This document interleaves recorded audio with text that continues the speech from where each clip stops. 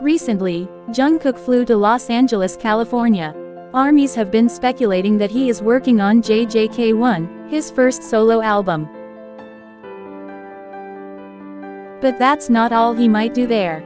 This was because there was a rumor on Twitter claiming that Jungkook was spotted at the Coachella Valley with Justin Bieber. The tweet quickly went viral, sparking curiosity among fans.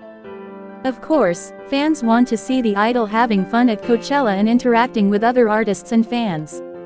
Another source of speculation is that Jungkook might have attended Calvin Klein's event at Coachella, as the brand is known for hosting parties and shows at the festival.